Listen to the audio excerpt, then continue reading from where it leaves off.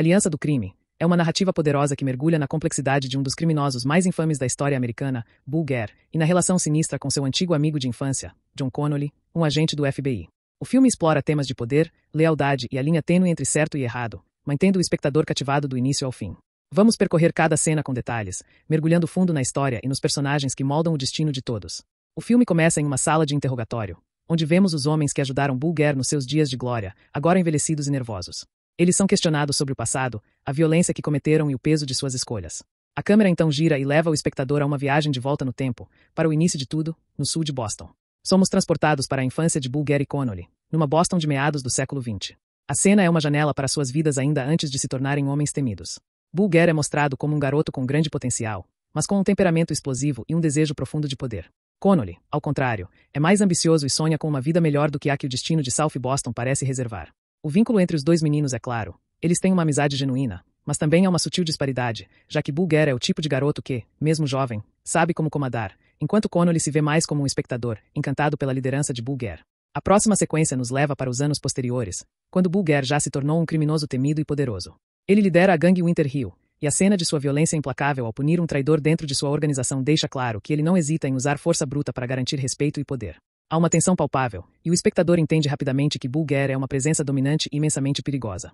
A seguir, Connolly aparece em cena como um agente do FBI, retornando a South Boston, após anos longe de sua terra natal. Connolly, agora adulto e com uma carreira no FBI, vai atrás de Bulger, não apenas por sua ligação com o crime, mas também devido à amizade de infância que ainda alimenta. Em uma cena cheia de subtextos, Connolly faz uma proposta ousada a Bulger. Ele pode ajudar a eliminar a máfia italiana de Boston, fornecendo informações para o FBI em troca de proteção para seus negócios ilícitos. A negociação é fria e calculada. Connolly vê uma oportunidade de brilhar, enquanto Bulger, aparentemente cético, aceita o acordo de maneira silenciosa, com um olhar que transparece uma confiança inabalável. O enredo segue com Bulger manipulando essa aliança a seu favor.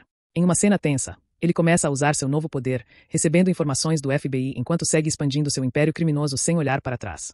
Com o FBI proporcionando informações, Bulger se sente invulnerável.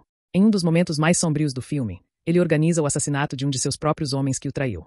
O momento é marcado por uma brutalidade surpreendente, mais uma vez, o filme mostra a natureza implacável de Bulger, que não hesita em eliminar qualquer ameaça, seja ela de dentro ou de fora de sua organização.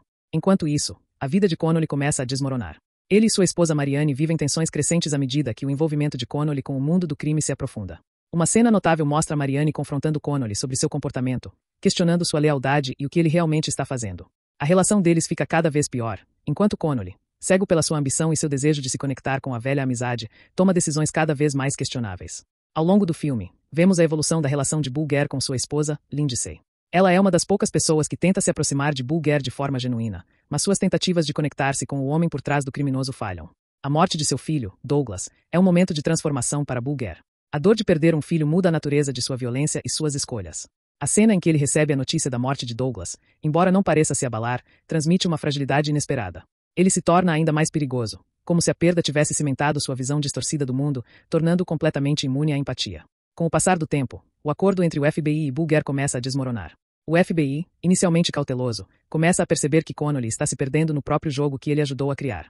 As cenas alternam entre as tentativas de Connolly de justificar suas ações e a crescente pressão de seus superiores no FBI, que começam a questionar sua lealdade. O conflito entre a amizade e a justiça é palpável, e vemos como Connolly, ciente de sua traição, se vê cada vez mais aprisionado. À medida que o cerco se fecha, a tensão aumenta.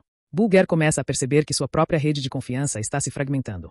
Ele abandona a cidade, fugindo para se esconder, mas o filme não nos permite esquecer a pessoa que ele se tornou. Em uma sequência final de perseguição, o FBI finalmente captura Bulger, agora um homem envelhecido e fragilizado, mas ainda com aquela presença ameaçadora. O filme termina com a captura de Bulger, mostrando-o sendo levado em um carro para o julgamento.